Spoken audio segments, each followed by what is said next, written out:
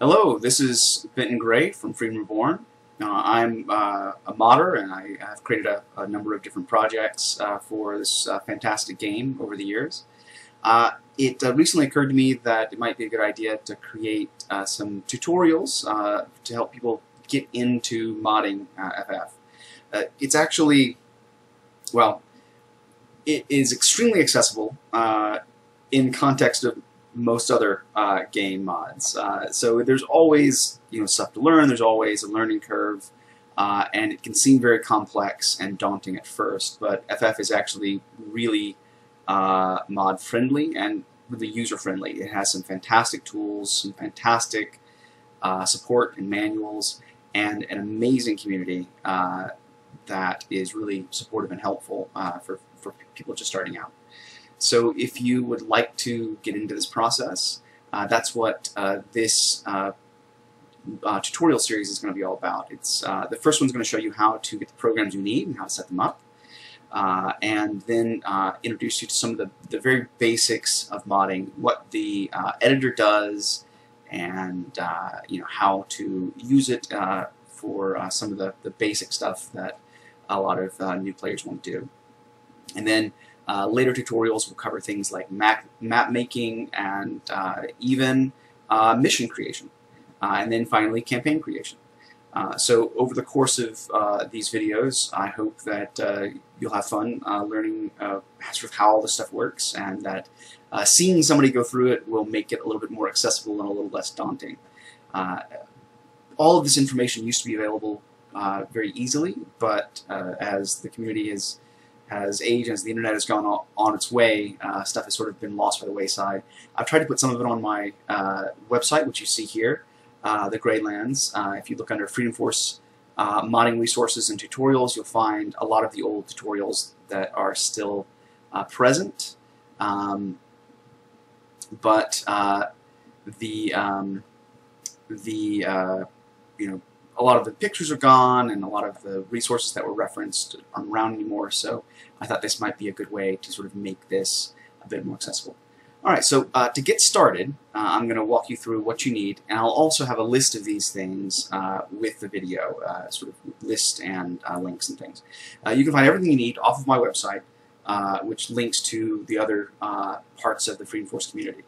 Uh, if you have any questions, if you run any problems, if you're not sure what to do next, then uh, visit Freedom Reborn. This is the home of the Freedom Force community, uh, and like I said, it's the best community you're going to find online. Just wonderful folks, uh, and uh, we're smaller these days, but we're still active. And you, if you if you have questions, you can post them in the modding section, or you can send me a message through my website. Uh, if it's specifically mod related, please do post in the forums because your questions might help other folks as well. So uh, that said, let's sort of get into it. So the first thing you want to do, if you haven't already, is you want to download FFX. This is uh, FFX is a fan-made expansion uh, for Freedom Force, and it adds a ton of new content, new attributes, new powers, uh, and it reworks some of the characters for the uh, main campaign.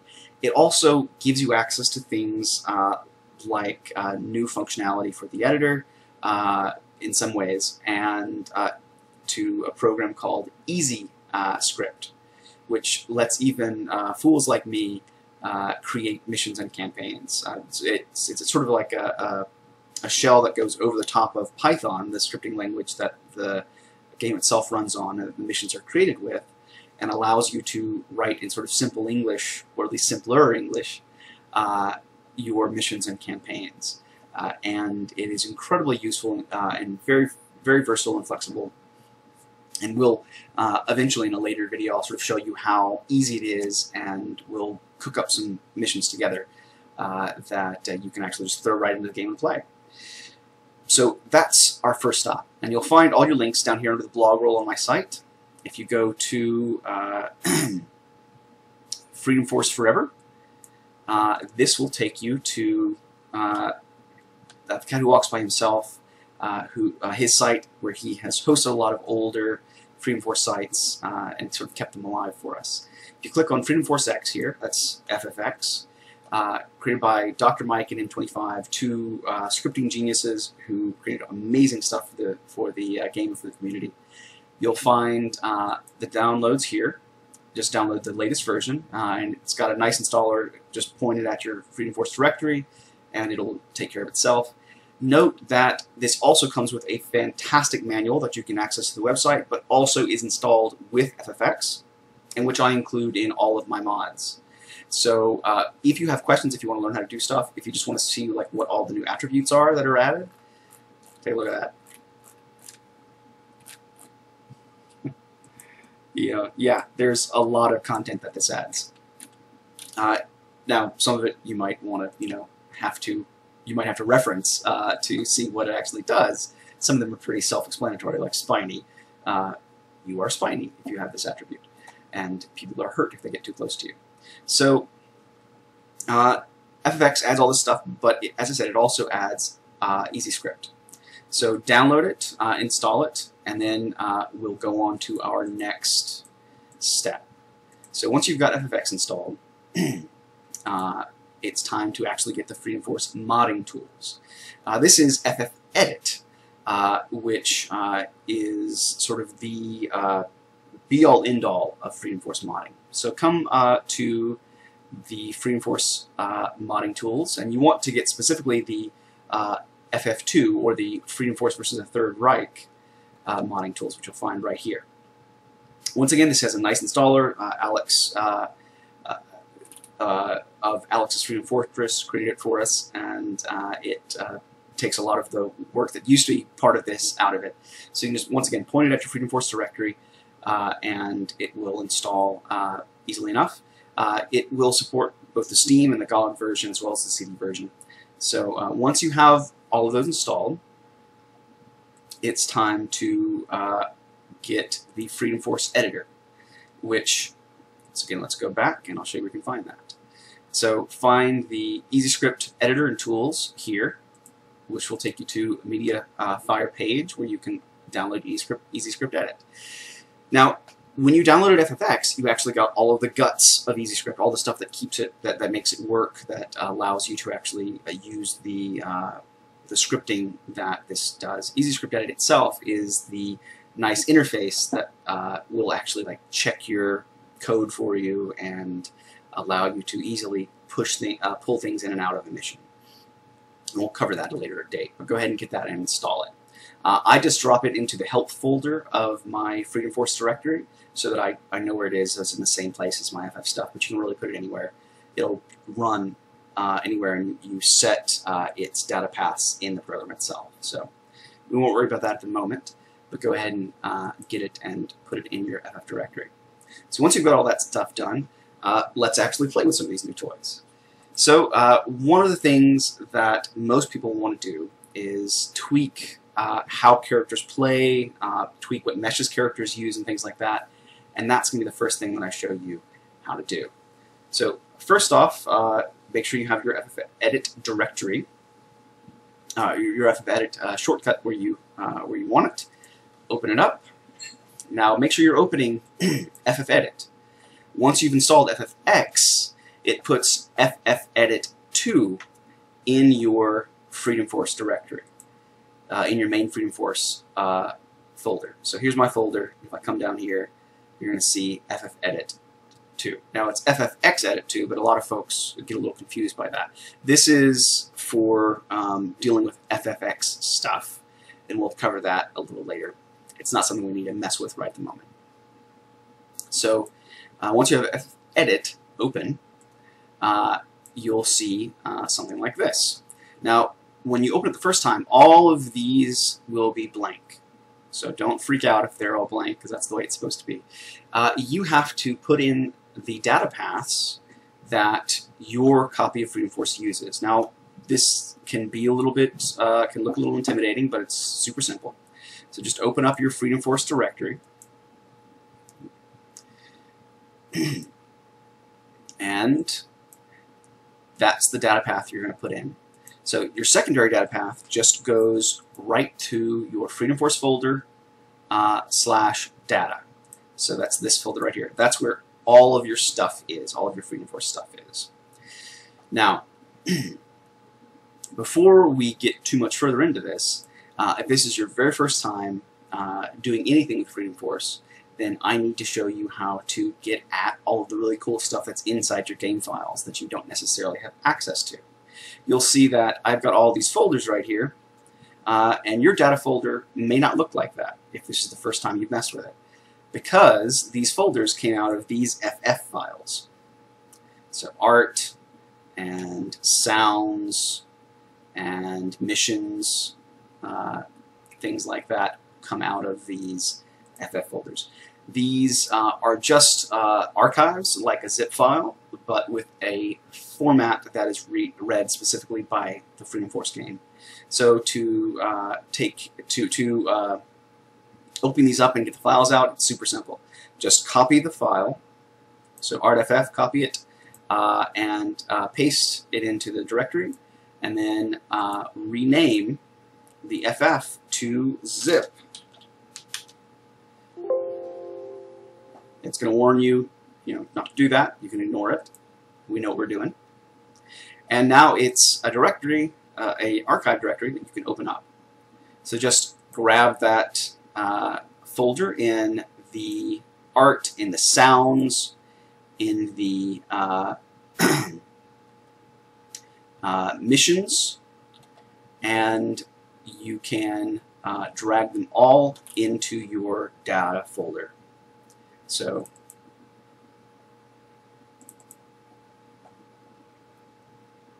being a little slow.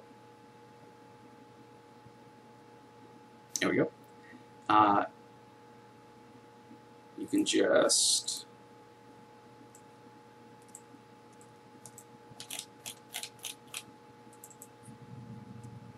drag from the folder into your uh, data folder.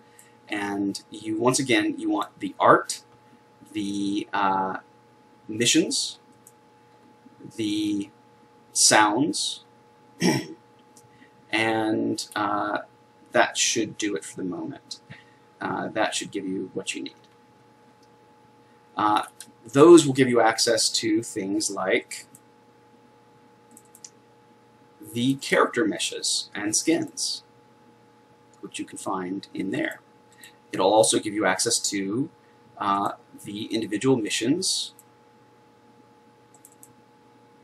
of the game, uh, which you can use and edit to your heart's content, as well as the objects and textures for those missions.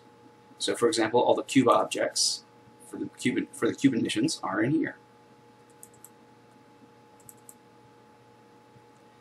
And this can be pretty handy uh, as you start to mod and, and you want to use different objects and you want to change things out and sort of get things to be, to be the way you want them to be. So make sure you go ahead and do that step. And that will give you access to all of those different files. Uh, if you're using one of my mods, uh, or if you have one of my mods, you can use those instead of uh, your own uh, directory files and you'll find the same basic layout. Those things have already been unpacked in those mods. So your secondary data path just points to your data folder, and that's your secondary data path is never going to change. This says uh, this is where all of the default basic information of your copy of Freedom Force is stored. So that's always the same. Your NIF library path just points to your art folder in the, your data folder. And we've just unpacked that, so it should all be there. Sound, well, same thing, in your sounds folder. Uh, your game exe, that's just going to point to the actual game exe uh, in your FF directory. Now, uh, this does not have exe at the end of it, so it's just the file name, which is FF uh, VT3R. Your level editor, that's going to point to uh, the same thing, but edit. So, there you go. Python, now you don't have to have a Python editor. Eventually you'll probably want one, but we'll cover that uh, when we start messing with Python files. Uh, these you can leave blank for the moment. This is just for when you want to generate language files. So when you want to create dialogue or when you want to clean up sort of how characters, uh, names and stuff appear in the game, the names of the powers, that's uh, how we compile those files. but you don't need to worry about it at the moment. All right, so that uh, takes care of everything except for the primary data path. The primary data path, that points to the specific mod that we want to mess with, that we're editing. Now, uh, I had you download FFX, so you can just go straight to editing that, but what I would suggest is that you copy your FFX folder and uh, then uh, paste it and rename it to, you know, your mod or whatever name you want it to have. Uh, you know, all my mod folders have a specific name uh, that makes them easily recognizable. So if I wanted to edit DCUG, my DC mod, I would type its name in there. If I wanted to edit the Marvel mod, Marvel Adventures, I would do that. But whatever I do, uh, that is the mod folder that we're going to be actually editing. So any changes we make here won't be reflected in the basic default game, and they won't be reflected in other mods, which is good because if we make a mistake, then we don't have to restore the entire game. Uh, so always make sure that your data path, your primary data path, is pointed where you want it to be. now we're going to uh, mess around in FFX3 uh, uh, for the moment, but once you change your data path, it's a good idea to close FFedit and open it back up so that uh, it knows to read from that folder. It usually does fine about doing that, but you know uh, this is just sort of a way to be safe. Now, you'll see a number of other tabs here. Do not touch any of them yet. Uh, campaign here, this is uh, the campaign tab. It's what you use to uh, put the different missions together that make a campaign. But if you press that button, uh, without actually then composing a campaign, it'll mess up your game and it won't play. So uh, if that happens, then what you do is you come into the folder that you changed, your mod folder that you're editing, you find your camp de uh, DEF, DAT, and delete that. Because what hap what's happened is that it's generated a new campaign that's messing everything up. So delete that, and I'll show you uh, when we when we get to putting uh, missions together to create campaigns I'll show you uh, how to actually do this safely. But for the moment, stay away from that tab. So the other tabs are going to be pretty self-explanatory for the most part. Your missions tab, uh, this is how you create your missions and your maps. Uh, it's not specifically for coding missions or scripting missions. It's specifically for creating and editing the maps. Your characters, this is your cast of characters. Now note that every character uh, entity in the game has two parts uh, in FFedit. It has the character part and it has the template part. So the character part is the powers and the attributes and the uh, stats, whereas the templates part is going to be uh, the type of material it is, the mesh it uses. It's sort of more like uh, logistical information about the character. You have to have entries in both lists for a character to be recognized and uh, show up in the game. so uh, this is how we do basic character editing. Uh, and a lot of the sort of fine-tuning you'll do in mods and character balancing and things like that might have to be done here. So uh, it's very simple to use. It's going to be very similar to the uh, built-in character editor in the game itself. So you just pick a character. Check out, let's check out Blackjack here. And uh, you'll see his name, which you can edit by renaming him. You'll see his stats. Uh, you know, their, layer, their levels can all be changed however you want. Uh, and you'll see his origin story, which uh, is just a, uh, you know, mostly applicable uh, to the built-in characters. It's something that you could create your own versions of, but that's pretty complex, and I won't get to that probably anytime soon. The AI that the character uses. Now, you can set specific AIs that sort of determine what kind of behaviors they use. But generally, I use M25 a uh, M25's AI generator, uh, which comes with FFX uh, and is very handy. So uh, if you want to, though, like you can uh, tell a character to act like a certain class of character. But be aware that if you do that, the game is going to expect them to have similar kinds of powers. For example, uh, you'll see under here uh, see uh. That's going to expect that your character is going to have uh, a strong melee attack. And it's going to attempt to use that.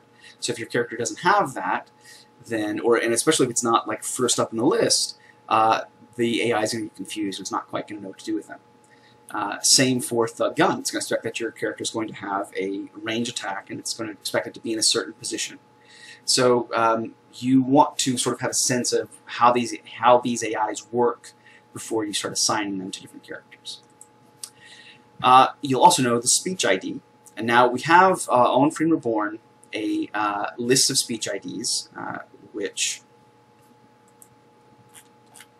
we just updated, I believe. Uh, let's see. Here we go. So this lists all of the different speech IDs and who they belong to, including all of the various fan-made expansions. So you're going to see, you know, this is a pretty long list. Uh, some of my voice packs are on here, um, and sometimes there's some crossover. For example, look, look at all the GGs there are. Uh, but um, if you want to create your own voice packs, which once again I'll cover at a later date, uh, then this list is a really useful reference because it'll let you know what voice IDs are already taken so that you can set your voice packs up to work with anything else in the game that has already been put out for the game. uh, and also as a quick reference for the different Freedom Force characters. Uh, for example, uh, we were just looking at Blackjack, so he's BJ in his uh, voice ID. We can find that right there. So let's say we want him to sound like Minuteman. So we just come down here. Minuteman's is, as you might expect, MM. We come back to Freedom Reborn. Uh, we come back to free uh, FF Edit. We just change that to MM. Uh, and now Blackjack will sound like Minuteman anytime he's talking. Uh, up here, you'll notice this campaign-only checkbox you want to check this for any character you want to show up like as a regular character in the game. If you want them to show up in the heroes list or the villains list, if you want them to show up in the campaigns, uh, then uh, you want to check this box. If you don't, then they'll only show up in the multiplayer lists when you're choosing characters and looking at the character lists. Um, there are times where you want to do that if you're just putting in, you know, minions or something like that. But if you if you're creating new heroes to be part of the campaign or to be part of a particular campaign that you're creating, then you definitely want to check that box. Uh, move radius. This here uh, is really cool. It's something that is not going to be an issue for most of the characters that you're going to create. But let's say you want to create a big uh, sort of monstrous character, something that's really huge, like Mr. Mechanical. Uh, Mr. Mechanical is in a giant uh, robot. Uh, his move radius is 3. You'll see that's higher.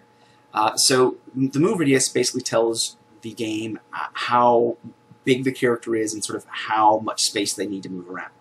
So set it higher for giant characters. In my DC mod, uh, Giganta has a higher move radius. In my Marvel mod, Giant Man, his biggest form, has a higher radius.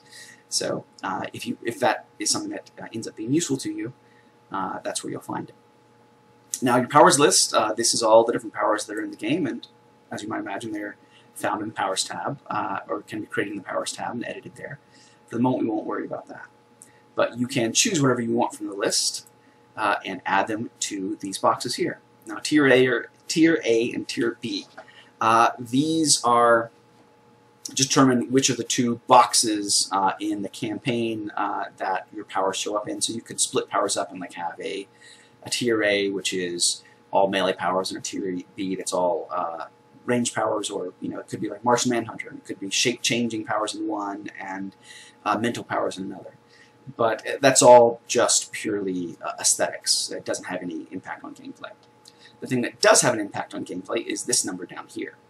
So if we come back to another sort of uh, main campaign character, a hero, you'll see that these numbers uh, are different here. And he's got um, uh, you know, four powers here, five powers there. These numbers actually reflect those, but somebody like Blackjack you'll notice that his numbers are 3 and 3. What this determines is what uh, number of powers and what level of power the character starts with. So if you want to have a campaign where your characters actually gain experience and can unlock powers and buy uh, upgrades and things, then you can change what level they start at. Or if you just want them to have everything at first, right at the beginning, then set both of these as 6, and they'll have all their powers, and their powers will all be at level 3. Attributes, it's the same. You, you have um, the list of attributes here, which of course you can change and edit in Attributes uh, tab. and you can uh, add them there and set their level here. You don't actually have to set 6 there because, of course, attributes can be upgraded, but a 5 will do the trick. now, uh, so as I said, if you want to create a new character, you just hit the new button, um, or you could copy an existing character. But if you do so, you have to make sure you have a corresponding entry in the Templates tab. So let's take a look at that. So templates. Well, first off, uh, we can do some sorting because there's a lot of templates uh, in Freedom Force, especially in my mods and, and game in my mods like DC, uh, the DCUG and uh, Marvel Adventures, where I've added a ton of characters and props and things. This list can be quite long. Uh, so we can say we want all of them, or we can say we just want the characters or just want the props or the objects. So the objects gives you just things like you know your boulders, your buildings, cars. Characters gives you characters. Let's take a look at Blackjack again. Uh, so we have his name, and that has to be exactly the same as the entry in characters. If you have an extra space, if you have any you know any kind of character that's different, uh, then the character won't show up properly. So make sure that those are matching. And I, have I've made that mistake more than once.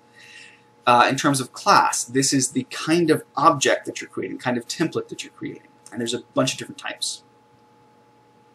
So uh, just as Freedom Force, uh, uh Freedom Force X, FFX, comes with a really nice manual, so does FFEdit. And I'm going to walk you through how all of this works, but if you have questions, if you want to uh, sort of get a, a, a simpler uh, you know, visual explanation of some of these things, then you can find that in the manual. If you open up the index, uh, that's installed under the help folder once you install uh, the uh, mod tools. If we open up the index, we'll have the whole uh, range of manuals for FFEdit, including all of its different parts, uh, which can be really handy. Uh, I really wish I had dug into this more when I started modding because there's a lot of great information here. But so if we come over to templates. They'll have an explanation of what all the different classes are. I'm just going to cover some of the basic ones, uh, some of the ones that you most likely use. Uh, and then if you want to reference uh, you know, what all of the others are and what they do, that's where you'll find it. So hero, obviously that's a hero character, somebody who could be used in the campaign or who could show up in missions or be available to recruit.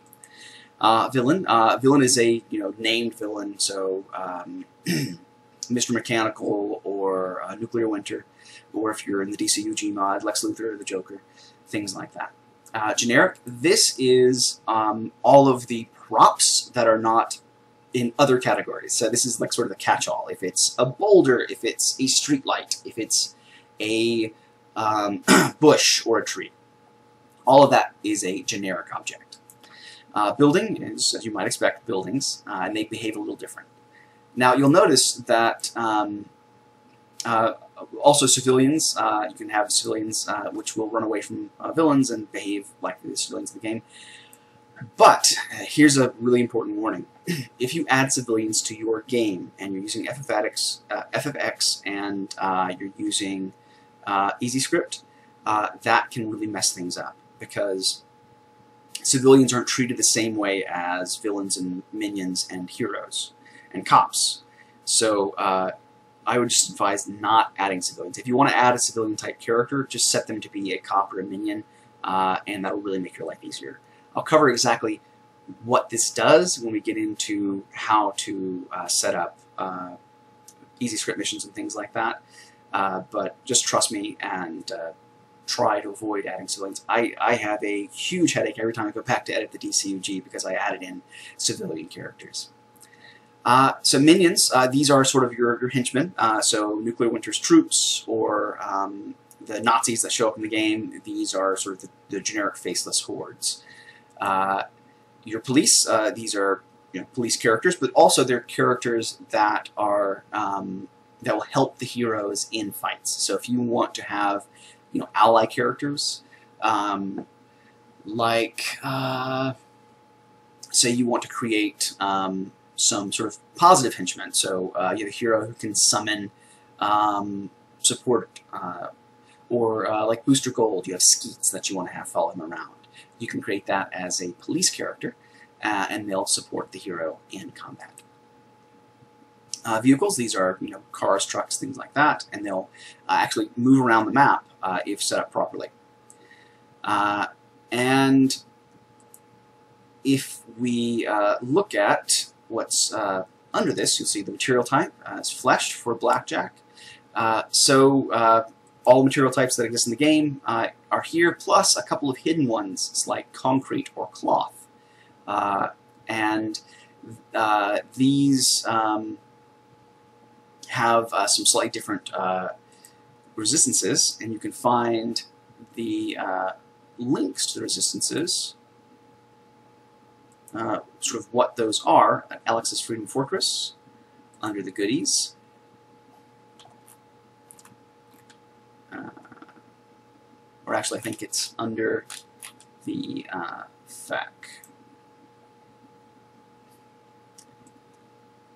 Yeah, there it is, the resistance charts. So they include um, uh, all of the regular ones. Uh, concrete is similar to stone, but it's a little tougher, has a couple extra resistances. Uh, you can see what those are like in Alex's uh, Hero, uh, Easy Hero, which if you haven't downloaded, that's another uh, great tool that you should get. So you can choose whatever material type you want for your heroes or your villains. And you can also change the mesh that they use. So, for example, uh, once again, let's say we want uh, Blackjack to look like Minuteman. where we can actually go into our Freedom Force directory and find out what Minuteman, Minuteman's mesh is named, what its data path is. and we can change this to point to him. Always double check your spelling and uh, make sure that you are getting everything right because obviously if you get this, uh, if you misspell something here, you have extra characters, then uh, your character won't have a mesh in the game. But this actually points to the 3D model that this character uses. If you change a character's 3D model, make sure that its keyframes can support the powers that you've chosen for that character. Uh, for example, uh, Blackjack has several ranged animations uh, that Minuteman may not have. So we would have to go back and edit those powers and make sure they corresponded to the animations that Minuteman used. But this is a great way to uh, sub in characters sort of very easily. you could just rename Blackjack and make him look like Batman and give him Batman's powers, and then you could use him in the campaign exactly like Blackjack. Uh, but also this is a way to change and update uh, meshes in general. Uh, now, under attribute overrides, you're going to see a lot of different uh, lines here, and you'll see that those will change depending on the character we click on. And if we click on, you know, a uh, or something like that, it's going to change as well. Now, um, for characters, there's only really a couple of things that we need to worry about here. But once again, uh, I encourage you to go to the uh, the documentation and see what the attributes uh, actually do, these object attributes. They have a complete comprehensive description of each of them, uh, and they can be pretty opaque if you're just you know looking at the uh, actual uh, description right here, if you're just looking at the name, uh, so it can be a little bit unclear what they are. So check that out if you you know start digging in deeper and you want to see what does this actually mean? Uh, but so for your characters, uh, obviously your mass is, is how heavy they are. Uh, heavier mass, the less they'll suffer from knockback and things like that. So you could make Blackjack a little tougher in combat by making him heavier.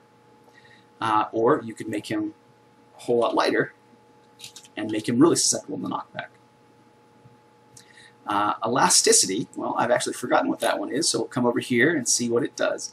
Uh, it's percentage from 0 to 1 how bouncy an object is. So uh, there are you know rubber objects and things like that that things can actually bounce off of in the game because it has a nice physics engine. So most of the objects are going to be zero elasticity. Uh, you don't even have to include that for an object, uh, for a character. Uh, it's going to default to zero. So pickup distance, it just tells you know how far away the character is going to be from something they're going to pick up. Uh, this is really handy for customizing uh, your meshes and characters. So say you have a bigger character, uh, so you're talking about Giant Man at his 12 foot form. Well, he can pick up things from further away. So you could raise that number uh, and see, sort of dial it in so that it looks right when he picks objects up on the map. Use voice, if you want to have a voice ID assigned to the character, you have to have use voice set to 1. Uh, most of these are uh, sort of binary, so it's either 1 or 0. A lot of these uh, different uh, different entries, uh, so it's either on or off. You'll also see complex right here. Now, uh, this is specific to FFX. It's something that is native to the game, but FFX has made use of it. So characters for FFX are branded or marked with a specific complex number. And this lets uh, all of the cool scripts and stuff that FFX uses identify particular characters. So um, if I have a character with a particular attribute that uses scripted things, and I bring him into a mission, the complex uh, number lets the game know, hey, I have to do this stuff for that character. Uh, it's something that you don't really need to mess with. It's always going to be created for you uh, by using the FFX editor, which we'll talk about in a little bit. Uh, but uh, then we come down here to skin, uh, and this is where you can actually change the skin of a character. So uh, most of the characters in the default game don't come with multiple skins, but there are a lot of skins that you can get for these characters. for example, I don't believe Blitzkrieg has has any, but I'm pretty sure mm, uh, El Diablo does, so he'll be a good example. El Diablo, skins, and you'll see all of these different skins. So if I want El Diablo to look like an old-timey version of himself, I can come to El Diablo, and for the skin, I can write in Ed 1880, which is a uh, Old West uh, skin for El Diablo. Now, if I were to load him up in the game, he would have that skin. Uh, once again, uh, if you're adding characters and you're changing things around, uh, this is how you uh, can sort of tweak things a little further. This is particularly important because a lot of Freedom Force content, a lot of stuff that's been created by the community, has standard skins as well as you know other skins, and oftentimes the one you want isn't necessarily the standard skin. So for example, here's an Atlantean, a DC Atlantean that uh, Cyberburn uh, made for me. And uh, his skins, his standard, was originally just a wireframe, just sort of a placeholder. So if I were to put him in the mod, I would want to specify a different skin for them uh, so that uh, you know I would have the one I wanted and not just the placeholder. Alright, so that's pretty much everything you need to know about the templates uh, tab. Uh, powers uh, is going to work pretty much uh, intuitively the way you'd expect. You can edit powers, you can add new powers, copy old powers. I generally like to copy rather than just add new because it fills in a lot of the boxes for me already and I can take something that's similar to what I want. Say I want a projectile attack and copy that, rename it whatever I want.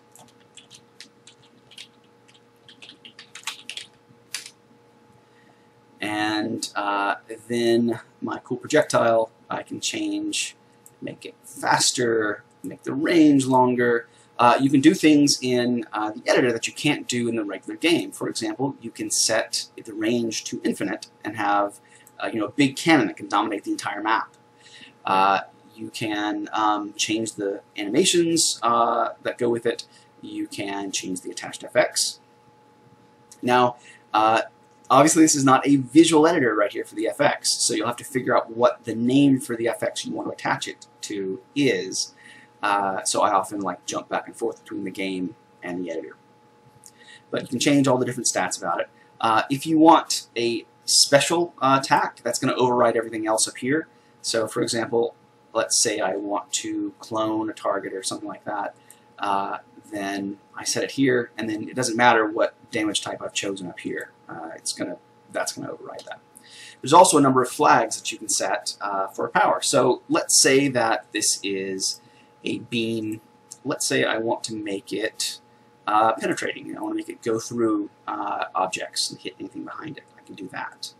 Or let's say uh, this is a melee attack, and I want it to be able to hit flyers. Well, there's a really cool uh, thing you can only do in the editor that you can't do in the uh, built-in hero creator if you click dinosaur, uh, then the attack will be able to uh, reach up and hit flying attackers. You'll obviously want to have an uh, animation that looks good with that, but it gives you that option. And you can also do things like area attack uh, or uh, you know knockback self, all of these different options. Note that if you choose area attack, it will always be 360. So the only way to get um, a narrower range, a narrower, narrower, narrower uh, radius for the attack, is to choose an existing uh, area attack from the powers list that uh, already has that radius, or to import it from the hero creator, which I'll show you all how to do in a little bit. Defenses is going to be basically the same way. You can choose the type of damage blocked, you can choose the animations and all that, success rate. Uh, attributes. Now, uh, this is not as useful as you might hope it would be or as you might expect it to be. You can only create new attribute names here. You can't actually create new attributes through this. Uh, however, you can, through uh, FFX, create new combinations of attributes to create new attributes. And I'll uh, sort of walk you through that in a later, uh, a later um, tutorial.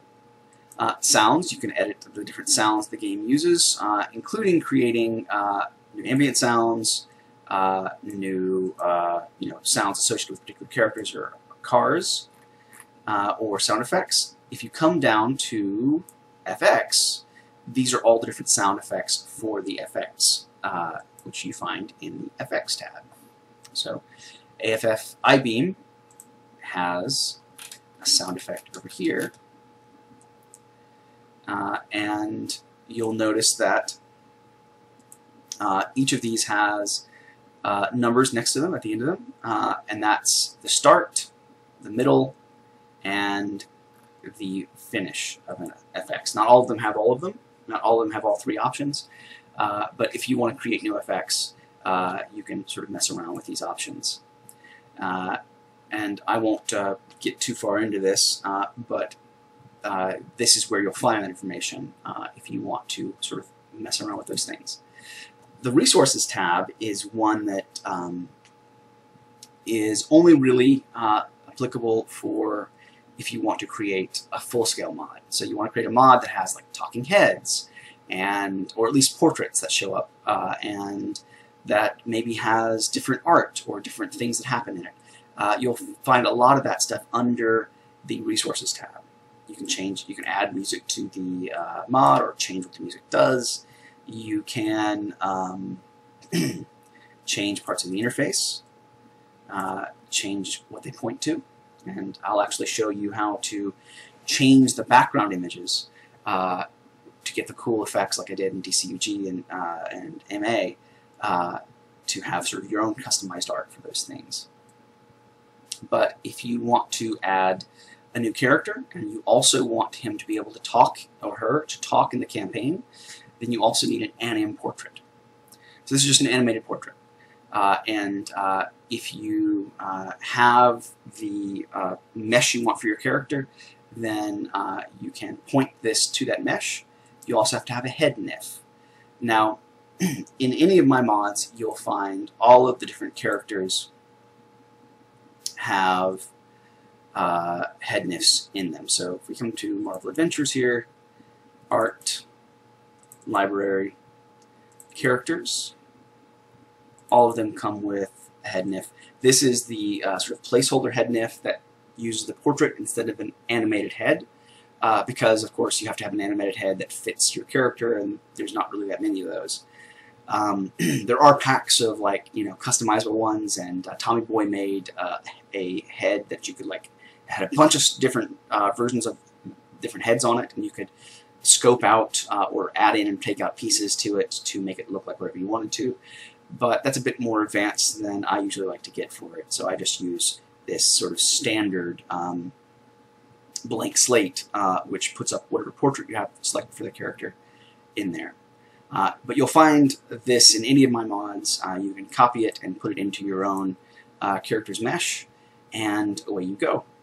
So just point that at uh, your character and you're good. Now, uh, I want to point out one last thing before we move on, uh, which is Uh, note the data path here, and you'll find the same basic data path in the template section. Note that it's library characters whatever else, or library whatever else. Um, this is really important because if you put the whole data path, if you put this whole thing in there, then it's only going to work for people who have uh, Freedom Force installed in exactly the same place you do. So if you use the shortened version, it's just going to tell the game, so go wherever the game is, and then look in this directory, which also helps it because it'll look in your specific mod that your game is running out of. All right, so that sort of gives you some of the basics of FFEdit uh, and sort of lets you know where everything is and sort of what it can do.